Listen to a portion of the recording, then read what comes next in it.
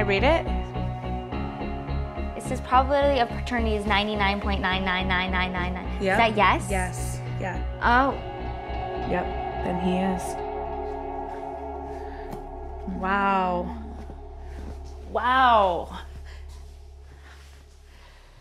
I don't know if I expected it to be that because you were so sure it don't wasn't him. I know. I don't know how I feel. Like I don't. I'm not excited. I'm not happy, and I'm not sad. You know what I mean? Like it's just kind of like.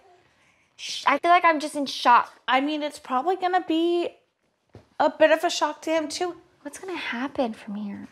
I don't know. That's. I mean, you're gonna have to work all that out with him. I think it's great that Braeson is gonna have a father in his life that Yeah, wants to be in his life. But I I, get that you have a lot of feelings, and I get that it's not necessarily. I know, but at the same time, I just feel like everything is gonna change. Like my future that I was suspecting with Braeson, like dropping him off at like his first day of school, it might not just be me anymore.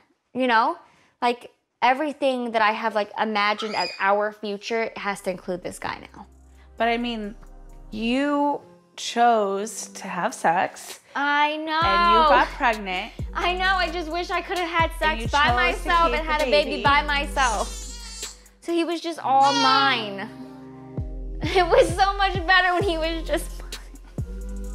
It's just so, it's so like it's just a lot to take on, and I don't know how I feel, and it's just a lot of emotions to right now, and I just I don't know. know. I don't know. Do you want a hug? No. Yes, I want a hug. My baby.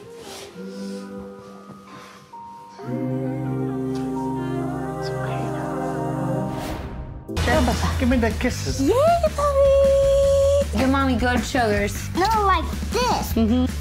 It's your birthday!